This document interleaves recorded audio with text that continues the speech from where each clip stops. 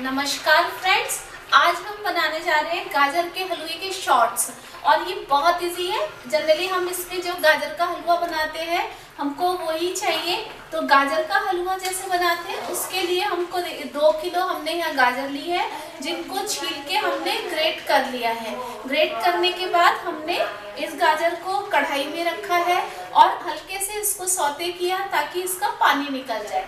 थोड़ा सा पानी निकलने के बाद हम इसमें हाफ़ हाफ़ लीटर दूध ऐड करते रहेंगे।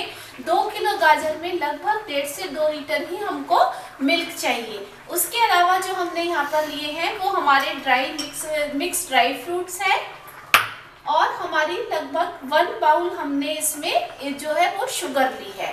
तो आइए अभी हम इसको बनाना स्टार्ट कर देते हैं। सबसे पहले हमने एक, कढ़ाई में हैवी बॉटम पैन आप ले लीजिएगा। उसमें अपनी ये गाजर डालिए और उनको अच्छे से इसमें सौते करिएगा सो दैट इनका पानी सारा निकल जाए। जब इसका गाजर का पानी निकल जाएगा, तब हम इसके अंदर ये दूध हाफ़ लीटर हमने अभी डाला है और इसको धीमी आँच पे अच्छे से पकाएँगे। इस तरह से ये लगभग थोड़ा लंबा प्रोसीजर रहेगा, लेकिन बहुत टेस्टी लगेगा। आप इसमें, जैसे कई, मैं इसके अंदर मावा जो होता है, खोया, वो भी मिलाती हूँ। अगर आप नहीं चाहते तो खोया भी ज़रूरत नहीं है। आप कंडेंस्ड मिल्क भी इसमें डाल सकते हैं, अगर आपको शुगर की ज़रूरत बहुत ज़्यादा नहीं है। या आपको खोए का टेक्स्चर इसमें लाना है। तो चलिए अभी हम इसको धीरे धीरे बनाना स्टार्ट कर देते हैं। देखिए अभी ये हमारा इसमें दो किलो गाजर थी और इसमें मेरा केवल एक लीटर ही दूध लगा है इसमें। हमारा इससे ज़्यादा दूध की इसमें ज़रूरत नहीं पड़ी क्योंकि हमने इसका जो पानी था गाजर के हलवे गाजर का, वो ऑलरेडी हम पहले ही इसको सुखा चुके थे। तो इसमें बहुत ज़्यादा मिल्क की ज़रूरत नहीं पड़ी थी और इसमें मैं अभी खोया भी डाल रही हूँ। तो एक लीटर दूध में आराम से ये हो जाता है। अभी देखिए, ये हल्का सा हमारा ये पूरा दूध इसके अंदर लगभग सोख इसने कर लिया है। और इसमें भी देखिए थोड़े थोड़े खोए के जैसे दाने अपने आ गए हैं। अभी इस टाइम पे हम इसके अंदर शुगर ऐड कर देंगे। शुगर भी लगभग, अगर आप इसमें कंडेंस्ड मिल्क मिला रहे हैं तो हाफ़ पॉल की शुगर इसमें डालिएगा। अभी जब हम इसमें शुगर डाल देंगे तो शुगर भी अपना वाटर रिड्यूस करेगी। उस टाइम पे हम इसमें इसको थोड़ी देर और पकाएँगे और इसके बाद जब शुगर अपना पानी पूरा इसका गाजर सोख कर लेगी अपने अंदर, उस टाइम पे हम इसमें लास्ट में खोया और जो देसी घी है वो मिलाएँगे।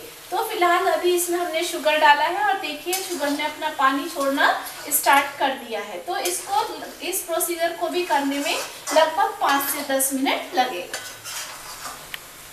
अभी देखिए, हमारे जो घी है, वो सारा इस, जो शुगर थी, वो सारी इसमें अच्छे से मिक्स हो गई है। इस टाइम पे हम इसमें लगभग डेढ़ टेबल स्पून हम इसमें देसी घी डालेंगे और इसमें हम डेढ़ से दो टेबल स्पून हम इसके अंदर खोया डाल देंगे। और इसको अभी हम खूब अच्छे से फ्राई करेंगे। ये याद रखिएगा, हलवा जब भी बनाएँगे, बाकी तो देखिए सेम प्रोसीजर है, सब उसमें दूध डालते हैं गाजर डालते हैं और बन जाता है। लेकिन फिर भी मोस्टली लोगों की ये कंप्लेन रहती है कि हमारा हलवा जो है वो हलवाई जैसा नहीं बनता है। उसका, उसके पीछे केवल एक ही रीज़न है कि हमने मोस्टली लोग क्या करते हैं, जैसे अभी आपने इसमें घी और खोया डाला, इसको वो लोग अच्छे से मिक्स किया और बस गैस बंद कर दी। यही प्रोसीजर जो है वो आपका गैस का, जो गाजर का हलवा है, आपको हलवाई के हलवे से अलग कर देता है। हलवाई जैसा अगर आपको गाजर का हलवा बनाना है तो आपने जब घी डाला और खोया डाला, उस टाइम पे आपको खूब अच्छे से भूनना है। मेन आप अगर जब ये भून लेंगे, आपका गाजर का हलवा कोई वो नहीं है कि आपका मार्केट जैसा ना बने। तो हमको जब हम इसको गाजर के लिए डाल लेंगे, घी और खोया तब हम इसको जब तक घी हमारा साइड में ना आ जाए, गाजर का ना छोड़ दे, तब तक हम इसको कंटिन्यूस हमको इसको भूनना है। मेन अलग इसमें हमारा यही होता है कि जो हमारा गाजर का हलवा बाज़ार जैसा नहीं बनता है। तो आप इसको खूब अच्छे से भूनिएगा और जब बिल्कुल साइड में से घी छोड़ दे, उसके बाद हम इसमें ड्राई फ्रूट्स डालेंगे और बस हमारा हलवा बनकर तैयार हो जाएगा। तो आप इसको ज़रूर ट्राई कीजिएगा। और जब ये बन जाता है तो मैं आपको इसका एक शॉर्ट बनाना भी सिखाऊँगी। जनरली जो हलवा है, वो हम ऐसे सर्व कर देते हैं। लेकिन अगर आप इसका शॉर्ट बना के सर्व करेंगे तो बच्चों को भी अट्रैक्टिव लगेगा और आप इसको एज ए डेजर्ट भी सर्व कर सकेंगे। तो मैं आपको ये बन जाएगा तो इसका एक शॉर्ट बनाकर भी दिखाऊँगी। आइए, अब हम, मैं आपको इसका शॉर्ट बनाना सिखाती हूँ। ये शॉर्ट वाले हमने ग्लास लिए हैं। उसमें एक लेयर आप ऐसे गाजर के हलवे की लगाइएगा। सेकंड लेयर हम इसकी, जो आप, रबड़ी आती है, उसकी लगाएँगे। आप इसमें विपिंग क्रीम भी डाल सकते हैं, लेकिन रबड़ी से ज़्यादा अच्छा फ्लेवर आता है। फिर इसमें जो हमारा ये इसके रसगुल्ला जैसे वो अंगूरी रबड़ी रहती है, अगर आप चाहें तो एक दो स्लाइस उसके भी डाल सकते हैं। आफ्टर दैट फिर हम इसमें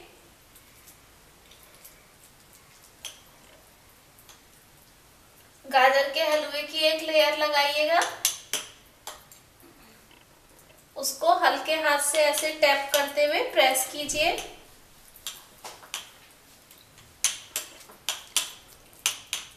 ये देखने में भी बहुत टेस्टी लगेगा और अच्छा लगेगा प्लस खाने में तो टेस्टी होगा ही। और थोड़ा एक अपना डिफरेंट वे हो जाएगा गाजर के हलवे को सर्व करने का। नेक्स्ट हमने फिर इस पे एक लेयर ये अपनी रबड़ी की डाल दी। और फिर हम एक लेयर और इस पे गाजर के हलवे की लगा भी सकते हैं। अगर आप नहीं चाह रहे तो इट्स ओके okay, चलेगा। ऐसा नहीं है।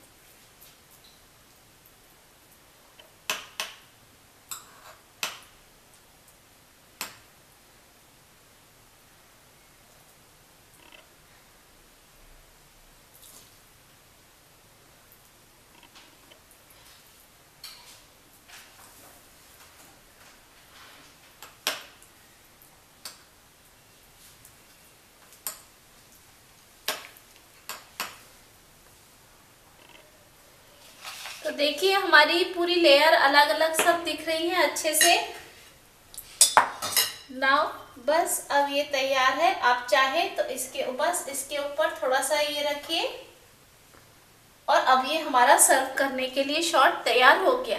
तो देखिए कितना अच्छा लग रहा है और एक डिफरेंट वे हो गया और आप इसको और छोटे छोटे शॉर्ट ग्लास जो आते हैं, अगर आपको ऐसे पार्टी सर्व कर रहे हैं तो आप उसमें भी इसको सर्व कर सकते हैं।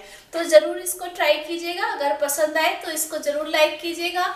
मेरा चैनल अभी तक अगर आपने सब्सक्राइब नहीं किया है तो सब्सक्राइब कीजिएगा। और साइड में जो नोटिफिकेशन वाला बटन आता है उसको ज़रूर क्लिक कर दीजिएगा सो दैट आने वाले टाइम में ऐसे डिफरेंट डिफरेंट आइडियाज़ और डिफरेंट डिफरेंट रेसिपीज़ आपको मिलती रहे। Thank you have a nice day